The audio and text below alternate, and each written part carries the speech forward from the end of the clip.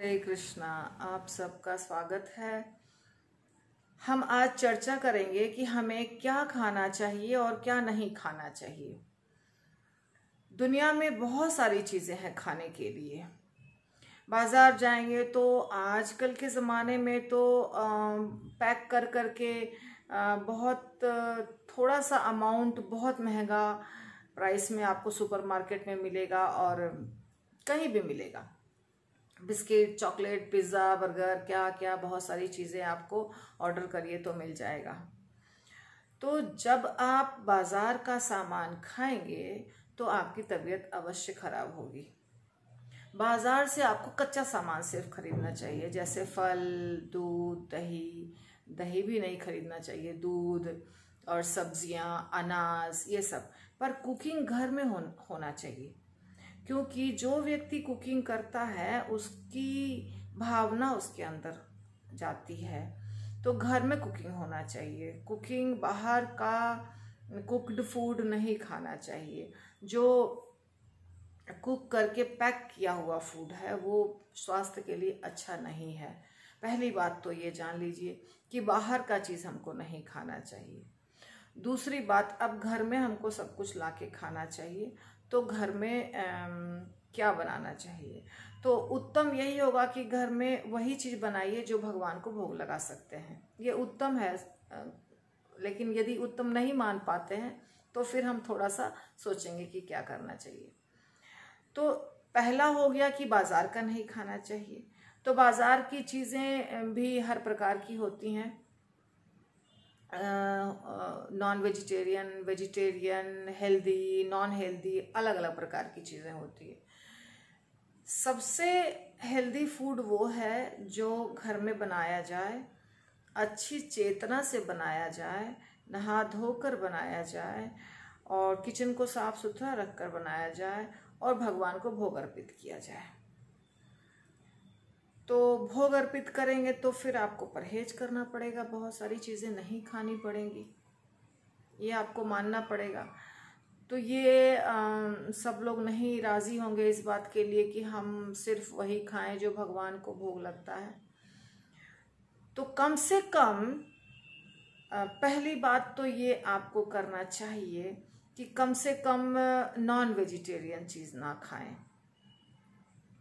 है ना? Non vegetarian ना खाएँ, क्योंकि हमारा शरीर नॉन वेजिटेरियन है ही नहीं। मनुष्य की जो संरचना है, शारीरिक रचना जो है, शरीर के अंदर का जो सिस्टम है डाइजेशन का, वो नॉन वेज पचाने के लिए नहीं है। जो नॉन वेजिटेरियन एनिमल्स होते हैं, प्राणी होते हैं, उनका इंटेस्टाइन छोटा होता है और दांतें नुकीली होती है। तो जब वो नॉनवेज खाता है तो वो शरीर से बहुत जल्दी निकल जाता है क्योंकि उसका उसी तरीके का शरीर बना होता है। पर हमारी आंत बहुत लंबी होती है और नॉनवेज पचाना आसान कार्य नहीं है तो बहुत दिनों तक वो रह जाता है और नुकसान करता है। एक ये कारण है। दूसरा कारण है, किसी भी प्राणी को मार के खाना तो गलत बात है ना। किसी भी प्राणी को मारेंगे, जैसे कि हमारे अंदर जान है, उसके अंदर भी जान है तो वो वो दुखी होगा उसको मारेंगे, कष्ट होगा तो कष्ट होने के बाद हमको भी उसका परिणाम भुगतना पड़ेगा तो नहीं मारना चाहिए। तो आप कहेंगे कि फिर तो हम पालक मेथी को भी मार के खाते हैं। हाँ हम पालक और मेथी धनिया पत्ता के पौधों को भी मारते हैं मतलब उसको जड़ से उखाड़ते हैं तो वो भी मर जाता है। इसीलिए हमको भगवान को भोग लगा के खाना चाहिए। और अनाज तो उसमें कोई प्रॉब्लम नहीं है। अनाज वगैरह तो सूख जाते हैं, फिर हम घर में लाते हैं। तो हमें कम से कम नॉनवेज नहीं खाना चाहिए। और जो नशे की चीज़ें होती हैं, बाज़ार में तो आपको सब कुछ मिलता है। गुटखा, तंबाकू और पता नहीं क्या क्या बहुत सारी चीज़ें खाने की, पीने की मिलती हैं, जो शरीर को बहुत नुकसान करता है। जितनी भी बीमारियाँ होती हैं आजकल blood pressure, heart problem, diabetes, ये सब का रूट कॉज है सही खाना नहीं खाना। तो सही समय पर नहीं खाना और सही खाना नहीं खाना। भगवान ने कहा है भगवत गीता में युक्ताहार विहार से युक्त चेष्टस्य कर्मसु, युक्त स्वप्न अवबोध से योगो भवती दुख। जब हम अपने आहार को युक्त, सही कर लेंगे और कुछ अपने शरीर को चलाने के लिए कुछ नियमों का पालन करेंगे एक्सरसाइज वगैरह करेंगे तो योगो भवती दुख। तो दुख समाप्त हो जाएँगे हमारे। हमारे जीवन में जो कष्ट आ रहे हैं हमारे शरीर में जो कष्ट आ रहे हैं वो सब का निदान तभी होगा जब हम अपने जी, जीवन को ढंग से चलाएँगे। यानी कि जो भी बाज़ार में मिल रहा है वो सब हमारे खाने के लायक नहीं है। जितने भी सजीव हैं वो सब हम खा लेंगे ऐसा नहीं है। जो हमें खाना चाहिए वो खाना चाहिए। आयुर्वेद शास्त्र जो है वो हमको बता सकता है कि हमें क्या खाना चाहिए। लेकिन आजकल लोग अपने जीवा को तुष्ट करने के लिए सब कुछ खाते हैं। तो इसीलिए इतने इतने सारे प्रॉब्लम्स हो रहे हैं सबके जीवन में। खाने का समय निश्चित होना चाहिए और खाना क्या चीज़ खाना है, क्या नहीं नहीं खाना, ये निश्चित होना चाहिए। दूध से बना हुआ पदार्थ खाएँगे, सही रहेगा। देखिए, भगवत गीता में सब कुछ बताया गया है कि सतोगुणी फ़ूड क्या होता है रजोगुणी क्या होता है, तमोगुणी क्या होता है। तो जो चीज़ बहुत सात्विक पदार्थ है, जिसमें कि ज़्यादा मसाला नहीं है, ज़्यादा तेल नहीं है और ज़्यादा फ्राइड नहीं है और रस युक्त है फ्रेश है, वो हमारे शरीर को फ़ायदा करता है और समय पर खाएँगे तो। तो इस प्रकार से अगर आप जीवन जिएँगे तो आपको heart problem, blood pressure diabetes, ये सारी चीज़ों से छुटकारा मिल जाएगा। और जब आपका स्वास्थ्य अच्छा रहेगा तो आपकी सोच भी अच्छी रहेगी।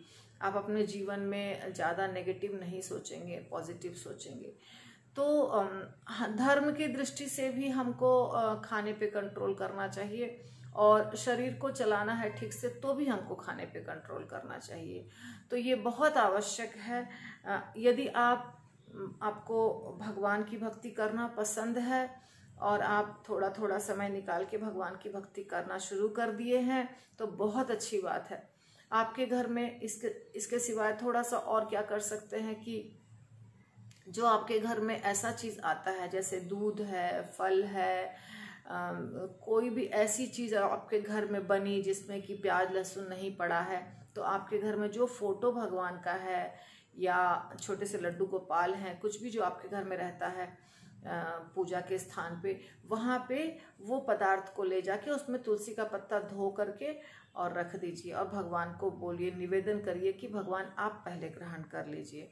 फिर भगवान तो पूरा ख़त्म नहीं करेंगे, आपको पता है भगवान तो अपने दृष्टि से ही खा लेते हैं। तो भगवान का जो भी आपने बनाया, वो भगवान के सामने रखा दस पंद्रह मिनट, उसके बाद उसको जो आपके बर्तन में बनाया था, उस बर्तन में डाल करके फिर पूरे घर के लोग खाइए। जितने पदार्थ आप सात्विक तरीके से बनाते हैं, वो सबको आप भगवान के सामने अर्पित करें।